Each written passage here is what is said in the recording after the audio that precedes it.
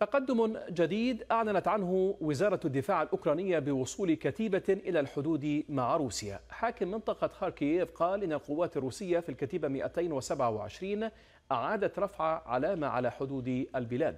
وانتشرت القوات على طول المنطقة الحدودية المحاذية لخاركييف حيث وصلت الكتيبة الأوكرانية من لواء الدفاع الإقليمي إلى الحدود مع روسيا في منطقة خاركييف.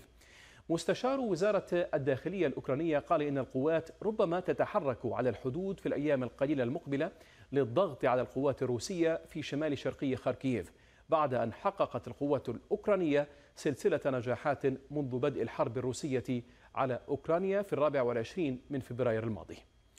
تعتبر مدينة خاركييف ثاني أكبر المدن الأوكرانية فاق عدد سكانها مليون نسمة قبل الحرب والحصار الروسيين. تبعد عن الحدود الروسية مسافة تقارب 25 ميلا فيما تبعد قرابة ال 150 ميلا عن كل من دونيتسك ولوغانسك شرقي البلاد. وزارة الدفاع البريطانية ذكرت أن التقارير تفيد بأن روسيا سحبت وحدات من المنطقة ومن المرجح أن تعيد نشرها بعد تعويض الخسائر التي لحقت بها على الضفة الشرقية لنهر سيفيرسكي دونيتسك مضيفة أن انسحاب القوات الروسية من منطقة خاركيف هو اعتراف ضمني بعجز موسكو عن الاستيلاء على المدن الكبرى الأوكرانية والرئيسية حيث توقعت مقاومة محدودة هناك. للمزيد من التحليل حول هذا التطور العسكري ينضم إلينا من واشنطن عبر سكايب السيد لورنس كورب كبير الباحثين في مركز التقدم الأمريكي. أهلا ومرحبا بك معنا سيد لورنس وشكرا لتلبية الدعوة. أبدأ معك بما الذي يعنيه هذا التطور العسكري وصول كتيبة أوكرانية إلى أقرب نقطة من الحدود مع روسيا ورفع علامة هناك على المستوى العسكري وتطور المعارك هناك. أعتقد أن ما يظهره هذا هو أنه على الأرض القوات الأوكرانية تقوم بعمل أفضل من عمل القوات الروسية. الروس اعتقدوا بعد المحاولات الأولية للاستيلاء على كييف أنهم سيركزون فقط على الجزء الشرقي ولكن حتى هناك أداؤهم لم يكن جيدا. شيء رمزي أن الأوكرانيين طردوا القوات الروسية إلى روسيا ووضعوا حدودهم على الحدود الروسية. بالإضافة إلى ذلك في منطقة دوناسك قتلوا 400 جندي روسي كانوا يحاولون عبور النهر ودمروا 85 من دباباتهم. نعم. يعني سيد لورنس هل نحن أمام تكرار لسيناريو العاصمة كييف حين أجبرت المقاومة الأوكرانية القوات الروسية على الانسحاب من تلك المنطقة وهي هي تكرر اليوم ذات السيناريو في خاركييف. نعم أعتقد ذلك.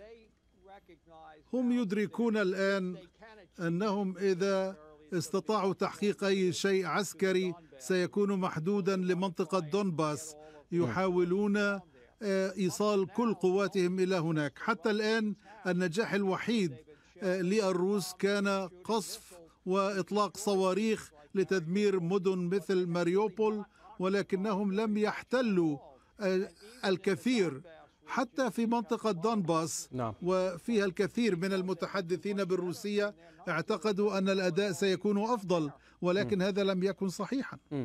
البعض يقول بأن هذا يعني الانسحاب من من خاركييف هو يعني انسحاب استراتيجي لأغراض يعني قتالية وحربية وليس يعني انهزام من هذه المنطقة ما رأيكم بهذا الطرح وواقعيته؟ نعم إنه استراتيجي من حيث أنهم يحاولون الإبقاء بدون تحمل الكثير من الخسائر. ثلث القوات الغازية في الواقع قتلت أو جرحت ولهذا السبب هم قاموا بذلك.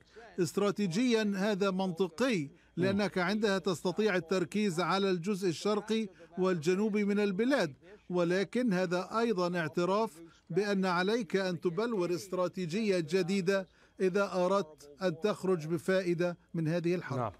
المدد يعني الغربي من الولايات المتحدة وأوروبا لأوكرانيا بالسلاح لا شك وأنه له يعني دور كبير في تحقيق يعني هذا التقدم لصالح أوكرانيا والانسحاب انسحاب القوات الروسية ولكن يعني هذا الدعم العسكري لأوكرانيا برأيك هل يمكن أن يحقق لها النصر أم يبقيها مدافعة فقط عن البلاد؟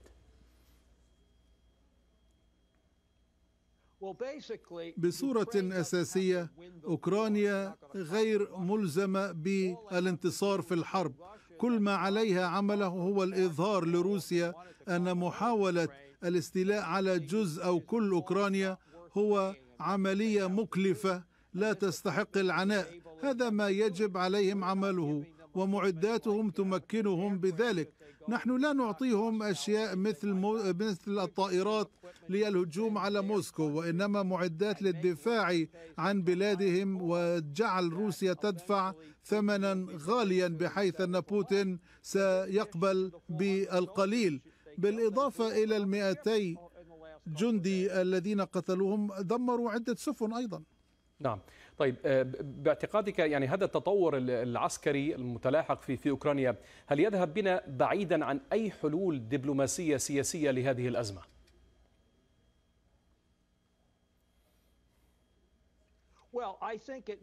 أعتقد أن هذا يحركنا إلى اتجاه نتساءل فيه هل بوتين يقبل بنصر رمزي؟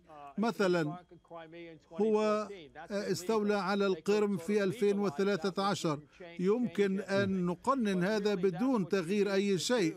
هذا ما يجب عمله.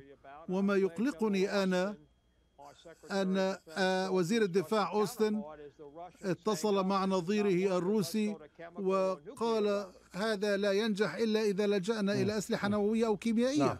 سيد دورنس يعني يعني ما قصدته أيضا يعني هل يمكن لهذه التطورات هذا التراجع من جانب روسيا التقدم من جانب أوكرانيا أن يستخدم كأوراق يعني ضغط في أي طاولة مفاوضات قادمة؟ ويدفع باتجاهها ربما. لا يوجد شك في ذلك. الأوكرانيون في موقف أقوى بكثير. للتفاوض الآن مما كانوا عليه قبل الشهر. هم في موقف أفضل. الرئيس زيلينسكي يقول إنه لن آه، يقدم أي تنازلات إلا إذا انسحبت روسيا كلية. يجب أن نتوخى الحذر آه، في هذا. هل مثلا سيكون الانسحاب كامل؟ هل الناس في آه، دونباس سيصوتون؟ هل يريدون أن يكونوا جزءا من روسيا وأوكرانيا؟ هناك وحدة وحدة أراضي لأوكرانيا واستقلالها. يمكن السماح بشيء لإنقاذ ماء الوجه لروسيا مثلا تقنين أو شرعنة ضم نعم. القرم. نعم. هناك يعني آه، مساعي واضحة وخطوات آه، من قبل فنلندا والسويد للانضمام إلى حلف شمال الأطلسي الناتو. قال عنها رئيس بوتين بأنها لن تهدد روسيا ولكنها ستستوجب يعني الرد ربما. هل هناك يعني قلق من أي ردود فعل روسية إزاء هذا التحرك؟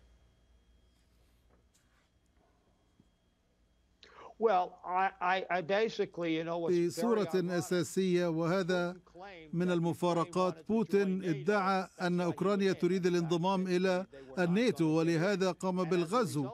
ونتيجة لذلك هناك دولتان تنضمان الآن إلى الناتو وهما أقوى عسكريا نعم. هو غير سعيد بهذا ولكن لا يوجد الكثير الذي يمكنه عمله لأن فنلندا والسويد لهما جيشان حديثان وبوتين يكون غبيا إذا حاول غزو هاتين الدولتين.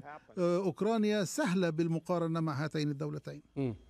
يعني يعني بالنتيجة يعني ستحمي هذه الدول أقصد هنا فنلندا والسويد نفسها من الغطرسة الروسية ولن يعني تجد نفسها أمام مواجهة ربما عسكرية وغيره مع موسكو.